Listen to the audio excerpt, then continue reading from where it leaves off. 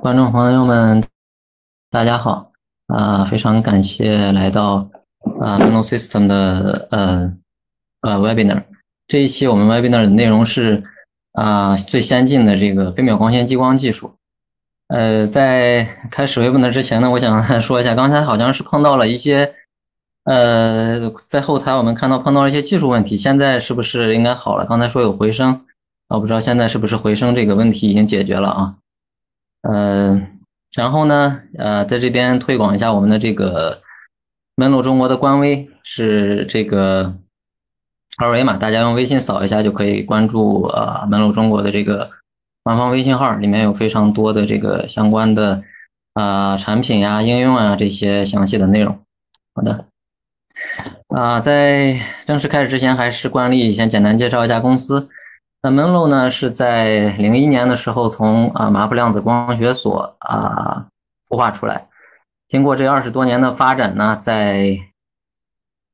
啊美国、日本和中国都有了分公司。那中国分公司的名字叫做上海门洛量子科技有限公司，就是啊我们中国分公司的这个中文名。里面加入了这个量子呢，也就是呃可以看出 Menlo 对啊目前量子技术的这个发展非常的重视。那关于 Melo，大家很可能呃第一想到的就是光学频率书啊，以及啊 Melo 的创始人汉士教授在零五年的时候呢，因为光学频率书的技术以及啊对精密光谱的贡献，获得了零五年的诺贝尔奖。那其实呢，现在 Menlo 那产品线也是非常的丰富啊，不仅有啊我们主打的这个光学频率书啊，还有包括它相关配套的这个这种呃光学参考，叫做超稳激光器。目前在量子呃呃计算量子传感领域呢也是非常的热门。另外呢，还有相关的太赫兹的一些解决方案，包括太赫兹的时域光谱仪、太赫兹的天线等等配套。啊，除此之外，我们还有啊，在这些产品里面的核心部件啊，飞秒激光器在光学频率书在太赫兹时域光谱仪等等里面。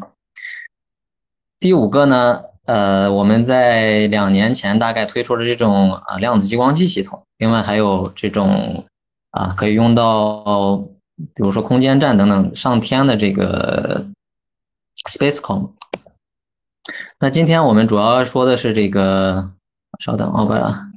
我把激光笔调出来。今天我们主要说的是这个啊飞秒激光器。今天的主讲人除了我之外呢，我们还是请到了非常多的呃重量级的嘉宾。首先呢，就是 Menlo 啊德国部门的呃这个飞秒激光啊超快飞秒光纤激光器部门的产品经理 Christine Mauser 博士。呃啊，抱歉，我这儿忘忘了加这个 Doctor 啊，Christine Mauser 博士博士。然后呃另外呢还有呃。我们中国部部门的呃售后高级售后服务经理呃傅灵统先生，以及呃呃门路中国的销售经理杨海东先生。另外呢，其实我们的中国区的负责人邹普先生，呃邹博士也是啊在后台。所以我想鼓励大家啊在讨论区提问。如果英语好的朋友呢，也可以英文提问。Christine 也很高兴能为大家啊来回答问题。呃，要说这个激光呢，我们先简单的从这个原理开始啊，就是激光当然是它是由啊由泵浦源来泵浦这个啊增益介质放在这个枪里面的增益介质来产生这个受激辐射。那要说到光纤激光呢，其实就是说这个增益介质是光纤。那再说到飞秒光纤激光呢，就是说它的呃工作方式呢是一个脉冲。而且这个脉冲的宽度是在飞秒的的这个量级。那飞秒是一个啊什么概念呢？就是说，呃，这边有一个简单的一个类比啊，就十飞秒到一分钟这样一个比例，相当于一分钟到整个宇宙年龄的这样一个比例，也非常的非常的有意思，嗯，值得耐人寻味的一个一个比例。呃，然后呢，如果用光纤作为这个增益介质，特别是啊。目前的一个保偏光纤作为一个啊更好的一个稳定的一个增益介质呢，我们可以做到这个飞秒激光的脉宽小于一百飞秒。此外呢，用光纤这种呃作为增益介质的飞秒光纤激光器呢，它还有就是啊，一键启动呀，啊，非常的鲁棒性非常的好，非常的呃稳健，然后啊，非常的紧凑，以及性价比高、免维护等等等等非常多的一个优点。那其实飞秒激光器的发展历史也是非常的早，在激光器刚啊诞生的第二年，飞秒那个那个光纤激光器也就已经诞生了，是在一九六一年就出来了。但是呢，其实，在呃激光诞生之后的两个啊两个十年里面，呃发展最快的呢，其实是这个激光呃晶体相关的这个其他的激光器，包括这个啊液体染料激光器等等其他的固体激光器。那之后呢，到一九八零年以后呢，这个随着这个嗯泵浦二极管的呃发展以及光纤技术的发展呢。这个飞秒激光器才有了一个时长足的发展，也就是说，飞秒激光器的成功其实是啊固体激光器和光纤技术共同共同的一个啊结晶吧。那这边这个图呢是啊 Laser Focus World 杂志呃统计的一个呃飞秒呃一个激光器领域的相关的一个专利的情况啊，当然是美国专利啊，一个专利的情况，我们可以看到，其实从一九啊，八一年开始，这个飞秒激光才开始了呃爆发式的增长吧。然后最近的这几十年内，也是也在一个非常快速增长的阶段。那在这其中呢，呃，就有我们呃 Melo System 的一个呃 Bigger Nine 的一个专利啊，在美国呃欧盟和那个呃中国都申请了相关的专利。那呃，对于光纤激光器来说，它的啊可选的增益呃介质也是呃比较丰富，主要呢是一些呃掺杂进去的是一些呃稀土元素离子。那这些稀土元素离子呢有天然的这个三能基结构，然后它们的工作波长一般是在近红外波段，可以看到是大概是在。啊，一千到两千，呃，这样的一个一个波段范围，两个比较用的比较多的波段呢，就是幺五零纳米参耳的这个呃波段，以及幺零五零纳米参与的这个波段。呃，主要的原因呢，也就是说参耳波段和参翼波段，它们技术比较成熟啊，相应的它的。呃，泵浦管的选择啊，也是非常的，嗯，就泵浦的呃波长也是非常的稳定，这些泵浦管也是很容易得到。再一再再一次呢，就是说我们的这个参耳呃或者参翼这些掺杂光纤，他们一般现在用到的是一个单模的光纤。那不管是这种呃单包层的，还是一个双包层的这种光纤，呃。都是一个单模，甚至是一个保偏的光纤。那么这个泵谱的泵谱光呢，我们可以泵谱到这个对于对于呃单包层光纤来说啊，我们可以泵谱到一个呃呃它直接的一个线芯里面。对于这个呃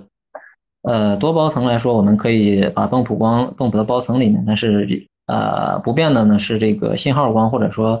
啊，我们需要的输出都是在这个线芯里面来传播。此外呢，在这个飞秒激光呢，因为它是啊一个脉冲输出，那这种脉冲呢，飞秒脉冲里面，特别是飞秒脉冲啊，它里面包含了非常多的一个频率成分，所以它在这个啊介质里面传播的时候会有色散，包括这样的一个正常色散和一个反常色散。那这样的呃色散呢，会导致它的脉宽啊，相应的有一个呃正周灸啊，一个正周灸或者是一个负周灸这样的一个色散。同时呢，在光纤里面还会有啊光强相关的一个非线性效应。呃，那这两种效应呢，怎么平衡呢？在幺五零纳米参耳波段呢，由于啊这个在工工作在这个反常色散的区域。也就是说，它是一个呃，是它是一个反常色散，一个负周灸。然后呢，这个呃非线性科尔效应呢是一个正周灸。正好这两种效应呢，可以啊，如果平衡的好的话呢，我们可以得到一个正常的没有色散的啊比较完美的高斯脉冲。但是呢，在参翼波段，这个它的色散是一个正常色散。那么就不能用这个非线性的科尔效应来和它来做一个平衡。但是呢，相关的还有一些其他的技术啊，可以把它的脉宽也也是补啊补偿回来。那对于呃呃这些飞秒激光器的设计来说呢，呃，一般的呢都是这样的一个设计结构。首先呢，是由一个啊振荡器来输出一个比较小功率的一个脉冲，再次呢，有一个放大器来把它的功率放大啊，还包括一个脉冲压缩，这样的特点，这样的一个结构有什么好处呢？首先呢，这个啊这些都是全光纤的结构，呃，连接都非常的方便。那种子激光呢，因为它的一个输出功率比较小，所以呃，相应的它比较好控制啊，就加一些控制。啊，第二个呢，它呃这个放大器，因为它是光纤的放大器，所以一般来说它的啊结构是一个单次通过的这样一个结构，啊，所以说呢，这个嗯放大器怎么说呢？它它内腔内的这个能量不是呃特别高，不是特别高呢，我们就呃不用担心这个呃非常多的这个非线性效应呀，或者是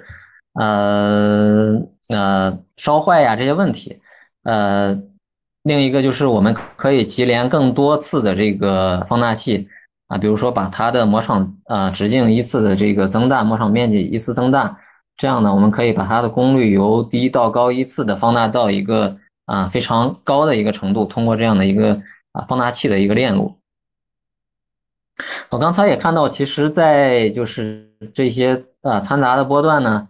啊，掺杂稀土元素这些啊，光纤掺杂的这些波段，其实它们的呃波长还是非常的稀疏的，呃，就是呃波长其实覆盖面不是特别广。那通过什么范围可以来啊把它的波长覆盖的更广一些呢？其实有这些这么一些办法。一个呢就是这种呃二次谐波产生，就是倍频，两个光子合成一个更高频的光子。呃，第二个呢，就是这种 DFG，也就是呃差频产生，一个高频光子和一个频率相近的光子产生一个更低频的一个光子，还有呢，就是一个超连续谱的产生，超连续谱可以让这个光谱扩到一个非常宽的一个程度，啊，这边是一个呃超连续谱的一个啊说明啊，就是从红可能红外一直到啊绿光啊，甚至是呃。紫光等等紫外啊，我们超连续谱，嗯嗯，都可以来做。当然，常见的是从五百到一千纳米啊，在在目前比较常见的情况是这样的一个范围，还有一千纳米到两千纳米这样一个范围，待会儿也会有提到。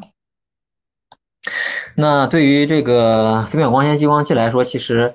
啊，还有一个核心的内容就是这个飞秒脉冲，这个光谷子如何产生的一个一个过程。那这边呢，我们呃有一个有一个动画啊，来呃简单说明一下这个光谷子的产生啊，或者说这个脉冲产生的这样一个过程。这个腔里面呢有一些啊震荡的这个叫频率也好，模式也好，然后呢这些模式它的。呃，相位要保持同步，保持同步以后呢，这些呃各种频率分量的振动呢，就会合成这样一个脉冲的呃，在在在腔内的这样一个往返的一个循环。这个就是一个简单的一个锁模的原理的介绍。那其实呢，这种锁模的呃特点呢，在频率上来看，其实它的模式和模式之间的频率间隔也呃也是非常的固定，就是这个腔的这个自由光谱区。然后呢，这个锁模呢，其实呃有好几种方式，包括主动锁模啊、被动锁模，还有呃混合锁模。那目前对于呃飞秒脉冲的产生来说，可能被动锁模是更常见的一种方法。那在被动锁模里面呢，呃，就是它需要嗯有一个自启动，就是说，不管是我啊插电也好，或者是给了一定的。啊，刺激或者扰动也好，它要需要有一个自启动的过程。然后呢，这个锁模通常是由于由这种叫做可饱和吸收体的啊物质来完成的。那这个可饱和吸收体呢，它有什么特点？它的特点是啊，这个低强度的光可以被吸收，高强度的光可以穿过，可以透过。那对于这个脉冲来说呢，就是它强度低的部分，比如说这个两侧，它强度低的部分会被吸收，那强度高的地方啊会被会透过去，这样往返的一个呃反复的一个运动，这个脉冲的一个呃往返呢，会导致这个脉冲也就会越来越窄，啊，最后达到一个稳态。那对于呃可饱和吸收体来说，常见的这个材料呢，就是这种半导体的可饱和吸收镜。那这边是一个例子，啊，一个比较宽的脉冲进去，呃，再再经过一定的循环，变成一个比较窄的脉冲，这样是一个简单的一个锁膜的一个呃实域的一个原理。那可饱和吸收镜毋庸置疑是一个啊非常成熟的技术吧，CSM。但是呢，其实 CSM 也是有非常多的一个缺点的。呃，首先呢，就是说，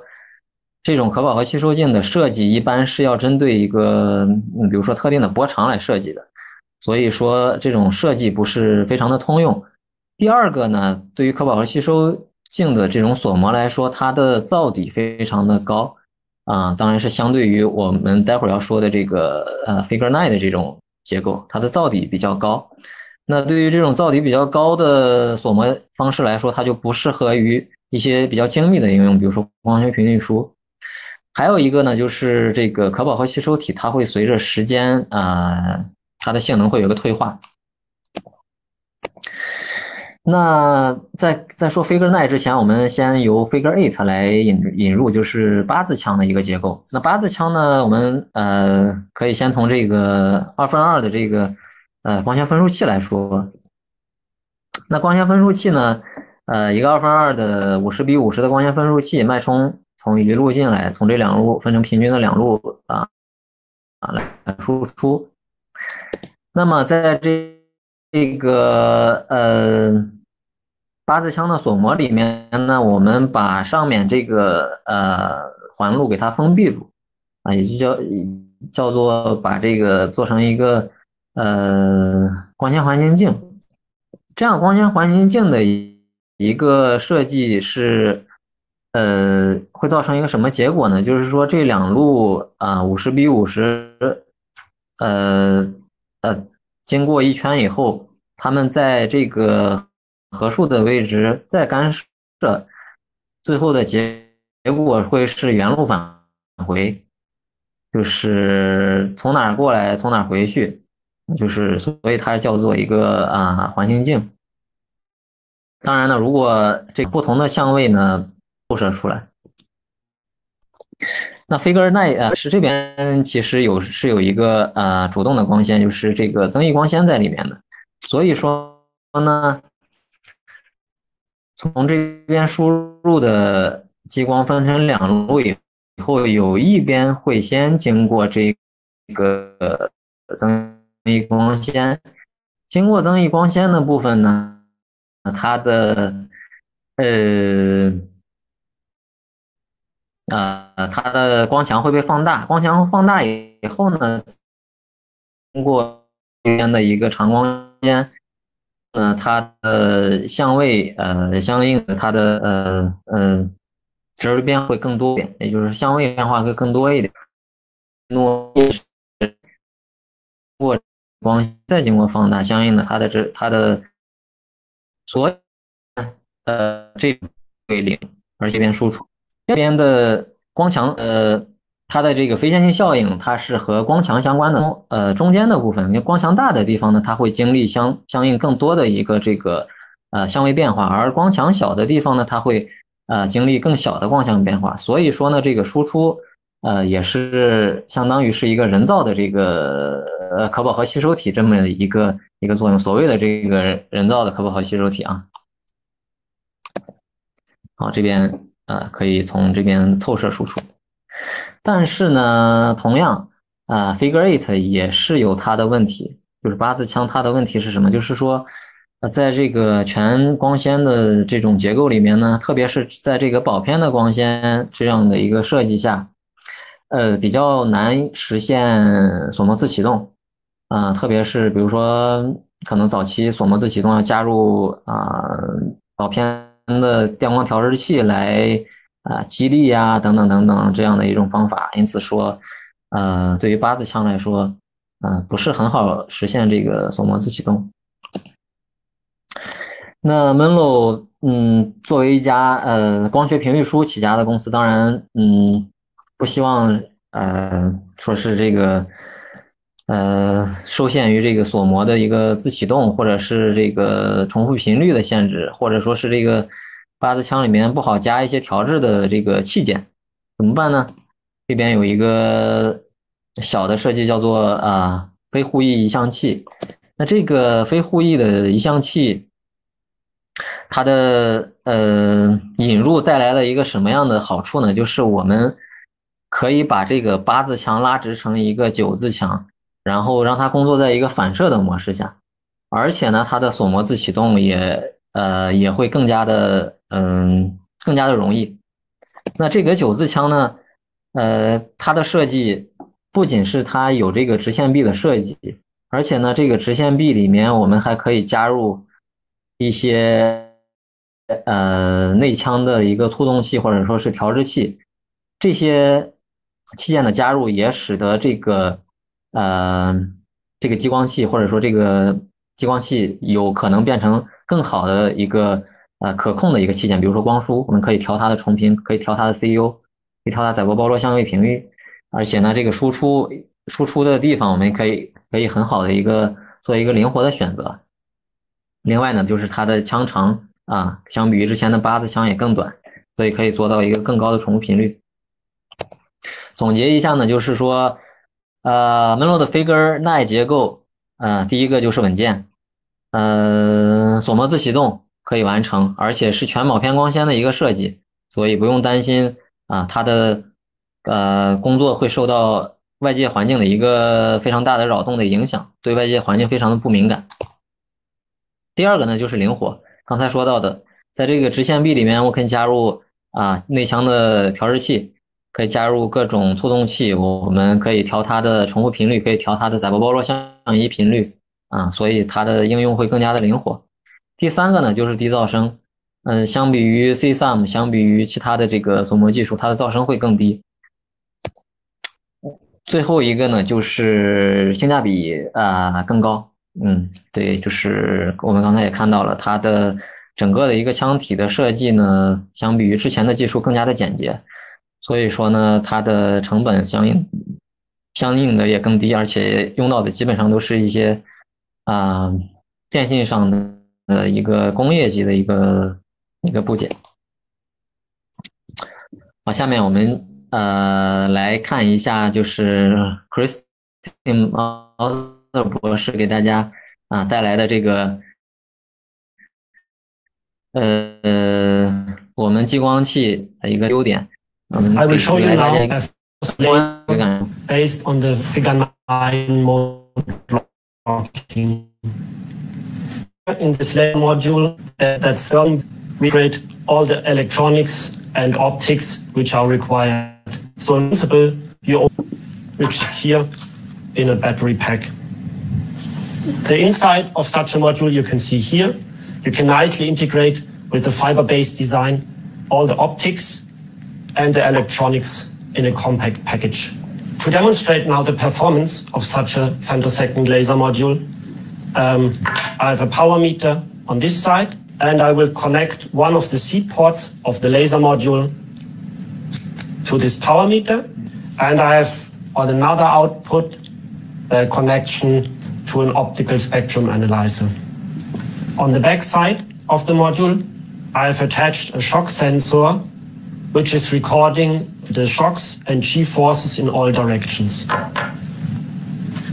Now we will start the femtosecond laser just by switching on the power supply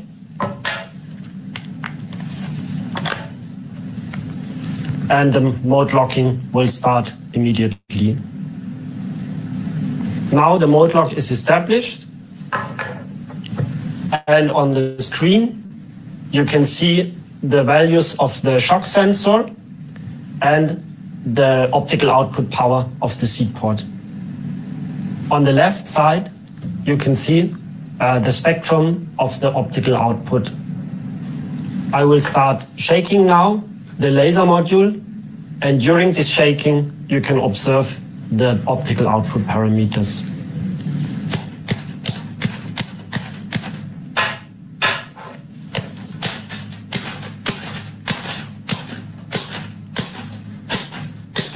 There is nearly no change in the optical output parameters like the, the optical output power or the optical spectrum. If you think of applications, for example, in production halls or in harsh environment, such a robust operation is essential. We have tested our lasers and even frequency comms with shock forces up to 16G without any major changes in output parameters. 好的，啊、呃，这个这个撞击测试可以说是呃非常的让人印象深刻。就是我我我看到这段视频以后，我自己 呃也是，其实我呃我都没有想到这个在在在在这么强的一个啊、拍打下，它它可以工作的这么稳定啊。啊，除了撞击测试，我们其实还有很多其他的测试啊。这边啊，简单的说一下，比如说啊，在一个大的啊温度变化下啊，来测它的输出功率，在这个多少多大呢？这个呃温度范围是一个四十度，从十度到五十度这么大的一个范围，可以看到它的输出功率的波动基本上是维持在一个可控的范围内，啊，相当的小，可以说是啊，大概啊百分之零点五，呃。啊，百分之三点七吧，在十度到五十度，在正常的实验室条件下呢，呃，峰峰值大概在百分之零点五这样一个波动范围。第二个呢，就是我们呃在大的温度变化下，我们还会测它的一个锁膜状态。比如说呢，我们在四十度的情况下，呃，测它的锁膜，开关一次锁膜。啊，在零度的时候呢，也会开关锁膜。在开关锁膜的这个开。啊，关掉再开，呃，当然这个是人为的啊。关掉再开开以后呢，这个锁模态一立马会变回去，而且呃，可以看到输出功率它的变化也是啊，非常的平滑。另外呢，由于呃这个九字枪的一个独有的特点呢，它可以在参 E、参耳是啊，还有参丢啊这三个波段，一千、一千啊、一千五啊、两千。这这样一个呃各个波段呢都可以产生一个呃很好的一个锁膜，呃还有呢就是刚才提到的重复频率高，可以达到两百五十兆赫兹，目前在市面上光纤激光器里面应该是最高。呃还有其他一些特点呢，就是它里面相对于呃可饱和吸收体来说没有这个寿命限制的这个部件。刚才说的 CSUM 是它是一个有呃它的寿命会有寿命啊，它的。呃，它的那个性能会呃衰退。啊，还有一个呢，就是这个锁模态非常的单一，每一次锁模都是一个固定的锁模态。啊，我们可以甚至可以重复一万次这样的开关啊，然后它的锁模态依然是一个啊单一的锁模态。另外呢，由于它是光纤激光器，所以它的光束质量呃是天然的很好的一个光束质量，而且呢，我们的呃，脉宽可以做到一个啊非常好的一个脉宽，接近于这个傅里叶变换极限的一个脉宽，在呃参 E 的波段呢，呃可以做到一百飞秒左右，而在呃参耳七八零啊参耳幺五六零倍频到七八零的这样一个激光器呢，可以做到五十多飞秒的这样一个脉宽。然后呢，它的脉冲和脉冲之间的这个稳定性非常的好。每一个脉冲之间啊，首先它的间距非常的平均，也就是说，其实它的重复频率的稳定度很好。另一个呢，它的功率的稳定性也很好。功率的稳定性有，呃，有多好？这个测了两点五个月啊，没有失锁，没有任何的问题，连续运转两点五个月啊，它的呃峰峰值变化大概是百分之一点二五，RMS 值大概是百分之零点一。嗯，很很也是非常的，呃，怎么说呢？非常的皮实，非常的呃，可以呃耐用，连续运转吧。两点五个月，相信对于很多也许工业应用来说，都是一个非常长的一个一个使用周期。然后呢，这个另外一个特点就是它的呃 timing jitter，就是时间抖动非常的小，由于它的一个低噪声的特点。还有的就是它的 ring 相对强度噪声也是很低。呃，低噪的特点，也其实我们是有一个相关的证明的。这个当然还是在一七年的时候，也就是可能在前一两代的产品，其实就有一个呃很好的一个证明了。这边是四个这个呃不同锁模呃方式的一个激光器，它们的呃。呃，在波波洛相移频率啊的一个线宽，我们可以看到，呃，Menlo 的这个非线性光纤放大环境镜 Figure Nine 的这样的一个结构，和啊科尔索摩的这个钛宝石激光器的啊 CEP 的线宽是可以啊相媲美的，比 NPR 比这个非线性呃比这个非线性偏振旋转和 CSM 的这个线宽都要好很多。呃，另外呢，这个我们的激光器还可以呃同步到一个外参考上面。由于它内腔啊加入了一些拖动器和调制器，比如说呢，我们可以同步到另一台激光器上，做一个啊主动和从动的这样一个 master slave 的一个嗯两个激光器同步的一个结构。那这样的一个同步呢，它的呃时间抖动也是可以做到一个非常小，在啊，飞秒的量级，从零点一赫兹到五百黑赫兹这样一个，呃，非常宽的一个积分范围内呢，可以做到小于十飞秒。然后呢，再总结一下，就是刚才说的这些啊啊参数也好，性质也好，啊，Menlo 都是呃经过一些啊严格的呃严谨的一个测试的啊，包括呃。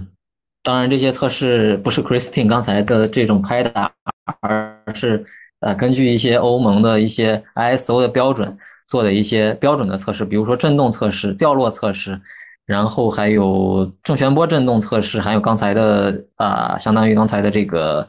啊撞击测试以及电磁兼容的测试等等等等，做了非常多严格的测试，嗯，所以我们的激光器这些性能都是可以啊给大家保证的。这边，呃，再进一段视频，呃，可以看一下我们的工厂，呃，在德国的工厂，就是我们生产其实都是在德国，啊，包括每一个的一个光纤熔接，啊，光路对准等等等等这一些，嗯，细小的一个步骤，我们都是为客户来啊做到最好，做到一个，嗯。Menlo Systems has over 20 years of experience in laser development and many application fields. All of our units are designed for 24-7 operation. Our testing units have been. Two of our units have even been to space, came back rushing to the ground, and still show the same performance.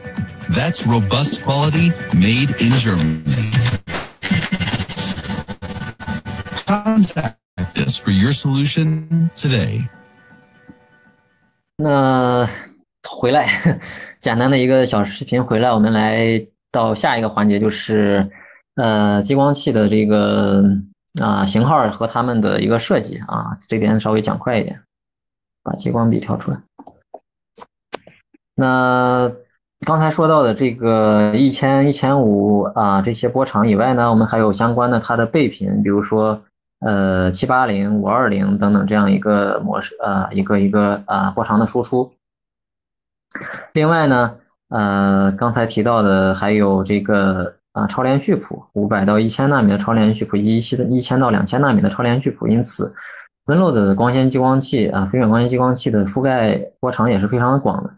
可以有很多的波长供大家来选择。另一个呢，我们近期推出了叫 Umo Made IR，就是中红外的这样一个激光器，它的波长从三微米到五微米啊，可调啊，比如说大概覆盖个一两百纳米的一个宽度，但是从三百啊三千到五千可以调。另外呢，我们的激光器大概是可以分为两类，一类是这个工业级应用的这个激光器，一类是科研产线的这个激光器。这个工业用的激光器呢，当然它的特点就是紧凑，然后嗯性价比高，然后比较适合这种 OEM 的应用，比较适合集成。但是呃，另外呢，它就是它的可选功能比较少，比如说它嗯一般来说有这种预补偿的。啊，色散预补偿的可选功能啊，包括这个脉冲选择功能等等等等。然后呢，这个科研级的激光器相应的它的特点就是比较灵活，功能比较多，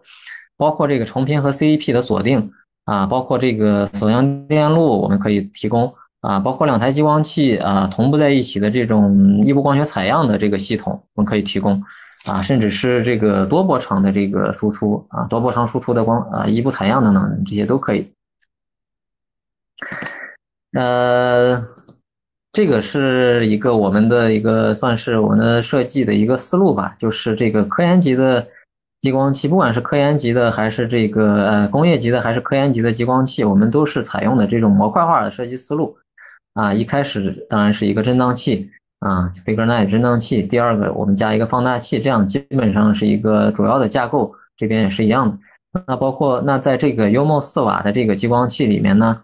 我们还可以加啊脉冲选择的这种快调制的这样一个 AOM 的功能啊，还有包括色散预补偿的这样一个功能。那在这边的这个 C Fiber 七八零的这样一个科研级的平台呢，我们可以加它的呃二次谐波产生，也就是产生七八零的这个模块，以及呢它的一个锁阳电路，比如说它把它的重频来同步到另一台激光器或者是外面的一个射频的外参考上面。另外呢，当然还有呃更多的选择，比如说在这个七八零的输出，我们还可以再扩出一路超连续谱啊，扩出一路五百到一千纳米超连续谱。那这边的种子激光的输出，我们也可以分两路啊，做两个放大器来产生。下面就是一些典型的应用，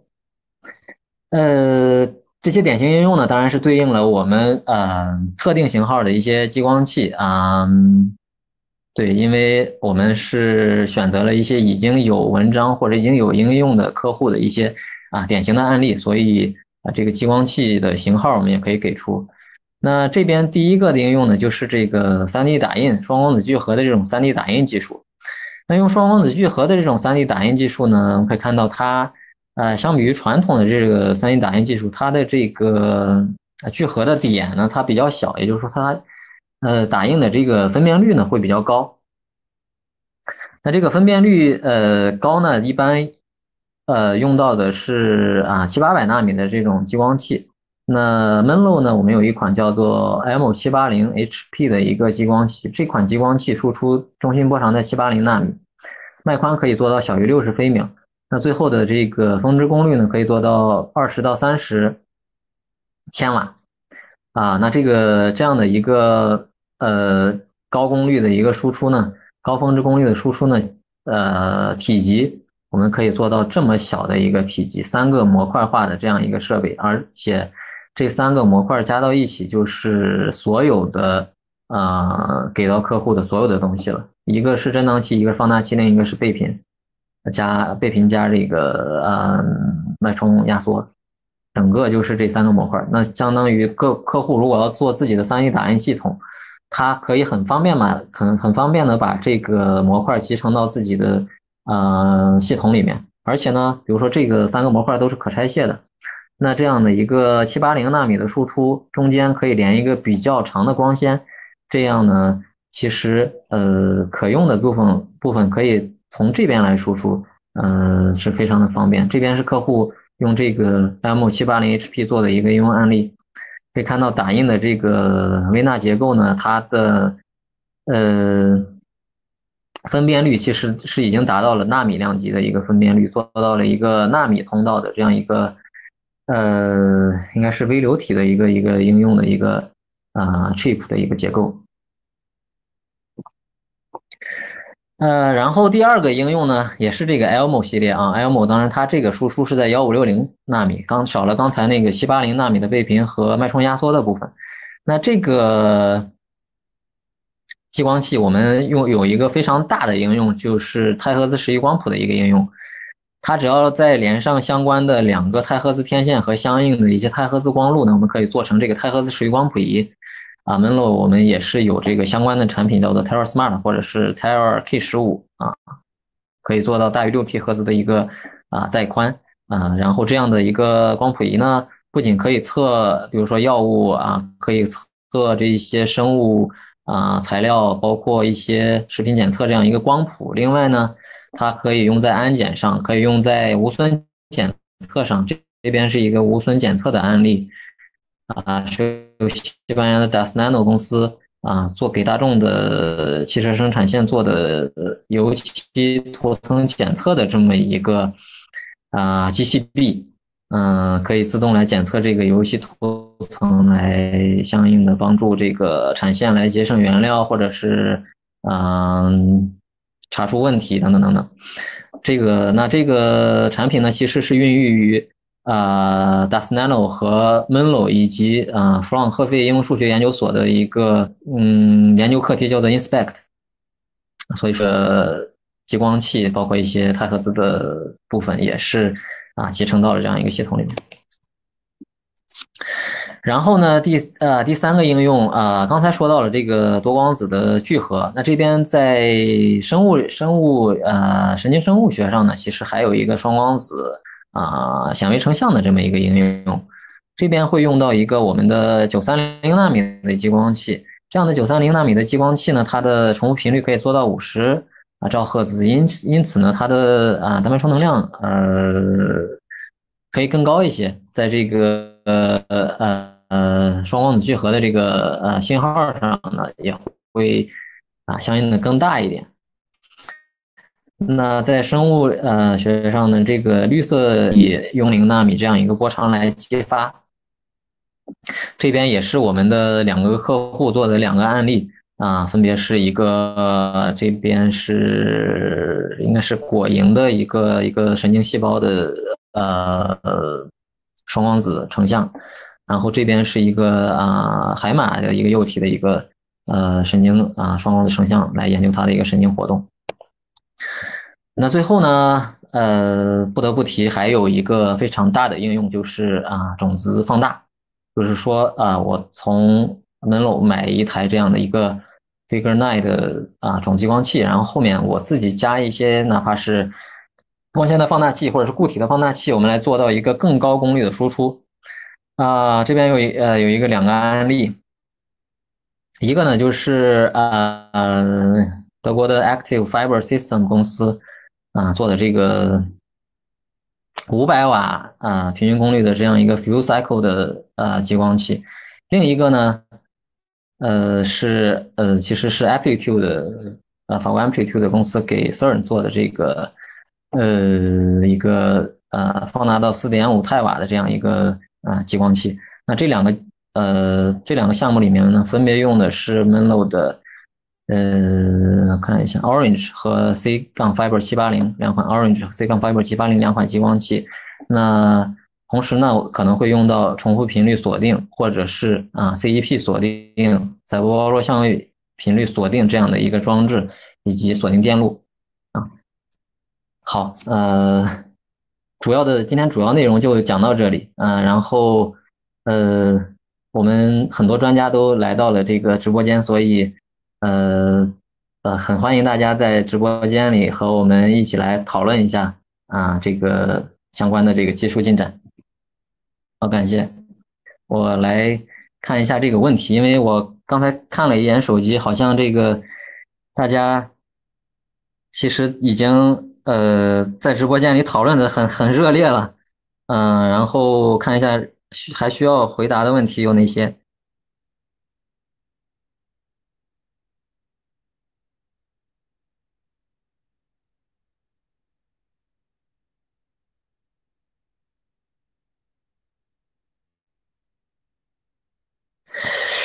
嗯，我从。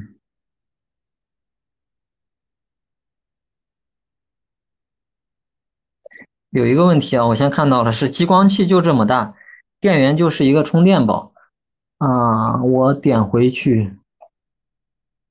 啊，在 Christine 这个演示视频里，激光器这个是当然，这个是一个这个是一个种子激光啊，种子激光大概输出是在呃毫瓦量级，然后电源就是一个充电宝，确实电源就是一个充电宝，然后你要放大功率呢，其实也就是再加一个相同的这样一个模块，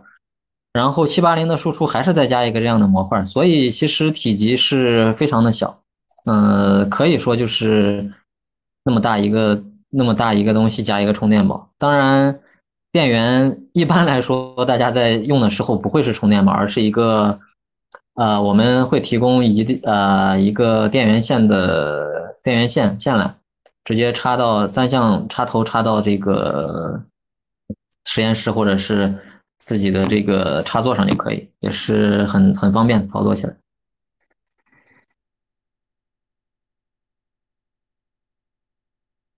嗯。Elmo 系列有什么波长 lm 系列的波长是在 Elmo，因为它是参耳的呃光纤，所以它主要的输出是在幺五一点五微米。然后呢，呃，它里面可以加倍频，加倍频以后可以到七八零纳米。呃，这个就是它主要的波长。然后因为它是呃工业级的一个激光器，所以可扩波长的范围不是特别的大。如果说你想要一个更大的波长波长扩展，可以选择 C fiber 这个科研级的范围，这样呢不仅可以扩到七八零，而且可以产生比如超连续谱，可以扩到一个更大的范围。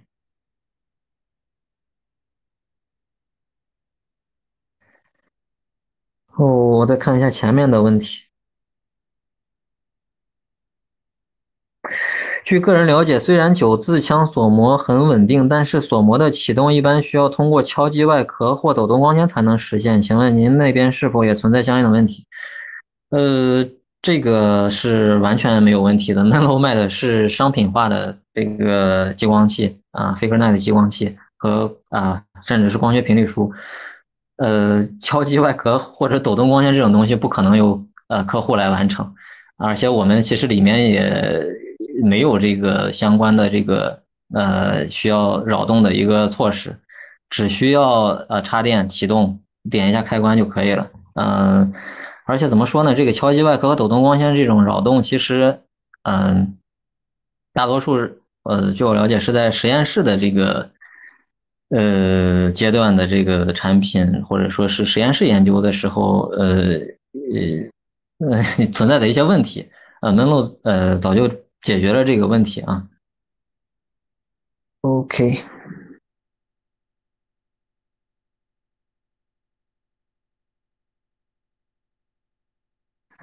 刚进直播间，前面的部分错过了，麻烦结束后提供一下回放网址和 PPT，没问题啊。其实呃，结束以后，呃，其实我们有那个 B 站的这个主页啊，您也可以，您也可以来来来，呃，关注。呃，或者您呃进那个，好像后面可以回答问题，领那个 T 恤。您进那个群，然后我也在那个群里。您要是想要的话，呃，我可以给您 PPT 也可以给，当然是要呃一般给 PDF。然后。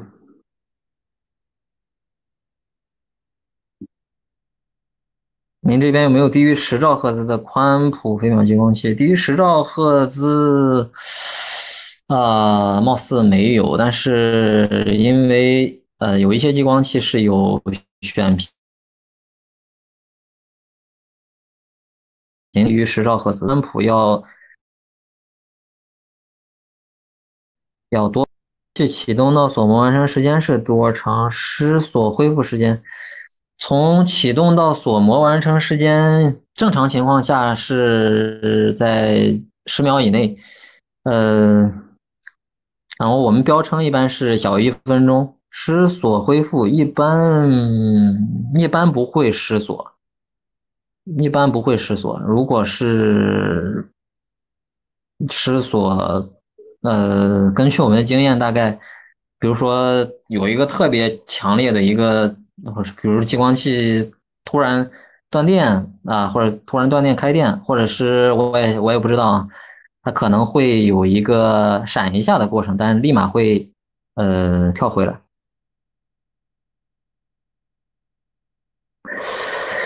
呃，您好，请教一下，激光器是怎么锁定到射频的？锁定的是激光器的重复频率吗？呃，这个问题我呃可以重点说一下，因为其实这方面的应用也是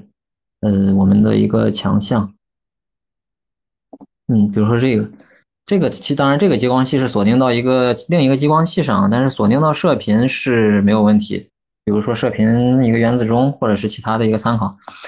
呃，锁定的是重复频率，但是我们有呃更好的方案，就是比如说锁复锁定重复频率的高次谐波，这样它的呃相位噪声会更低一些。而且呢，其实我们还有相关的啊二阶的一个锁定方案。啊，这在怎么说呢？就是基频加重加加高次谐波这样的一个锁定的方案啊，可以让呃每比如说每次开关机以后，它锁定的相位都保持相同。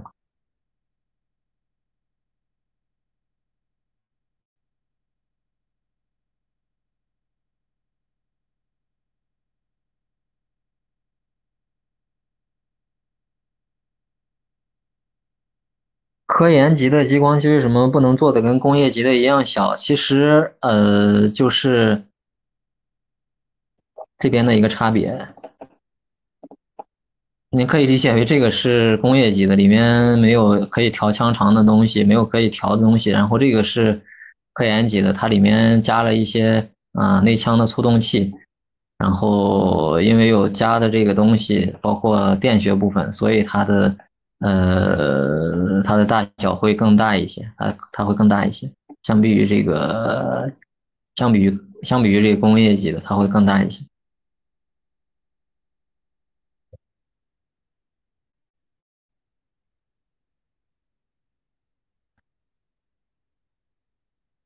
哇，这这今天的问题真的是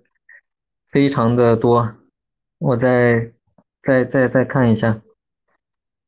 飞格奈可以做到 G 赫兹吗？呃，可以透露一下，就是其实闷路可以做到 G 赫兹，但是 G 赫兹啊，在测试阶段，然后闷路是一家比较保守的这个德国公司，所以呃，目前我们认为两百五十兆就够用了，所以 G 赫兹也也也啊也没有发布。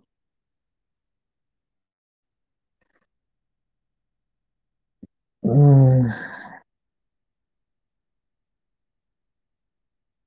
能否对门路异步光学采样系统做一下简单介绍？技术难点和有什么应用？啊，异步采样，嗯，刚才这边应该没提到这个异步采样的，啊，没有提到这个。我记得有一张，对，这边其实提到了一个异步采，只是。简单的提到了这个异步光学采样的这样一个系统，那闷路包括这个啊机柜式的和这个三三 U 的机机箱式的这样一个系统都有。那这样的一个简单介绍就是说，两个激光器的重复频率呃同步在一起，然后它会有一个小的重频差，这样就可以去嗯啊相当于进行一个扫描。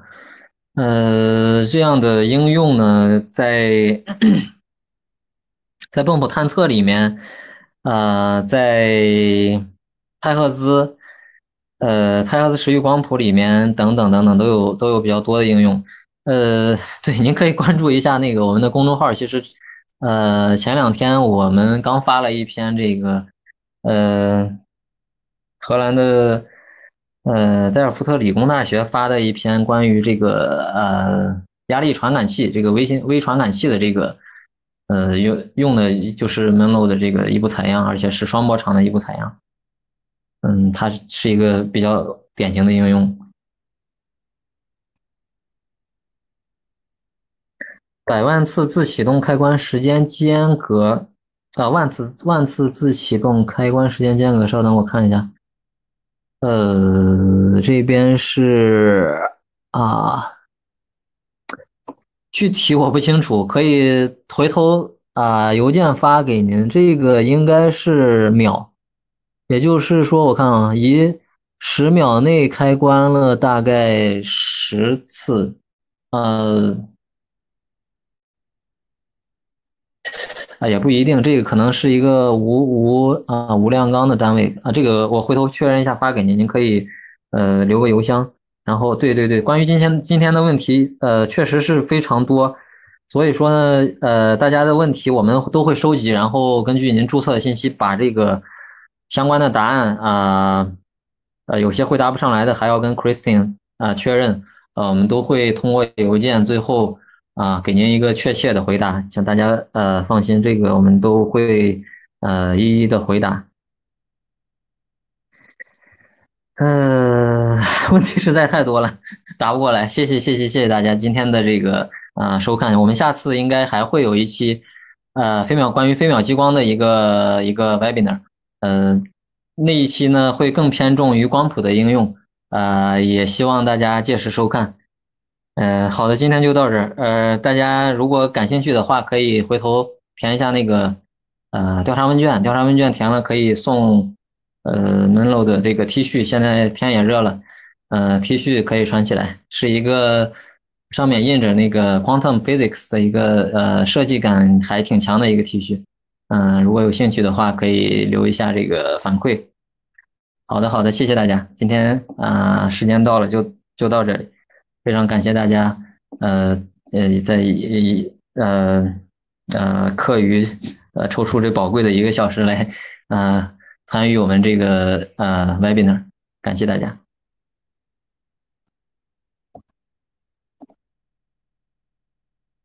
的精彩分享和大家的积极参与，如果需要观看直播回放，大家可以扫描蓝色二维码，关注光电会。欧艺秀微信公众号进入点击直播回放，即可购买课程观看，也可在公众号后台留言问题，后续我们会联系讲师回复。我们也为本次会议建立了交流群，欢迎扫描橙色二维码申请入群，与行业同仁继续交流。光学手册持续热销中，现在加购即送光电产品与资讯杂志年刊，与光研万物直播间会员欢迎咨询。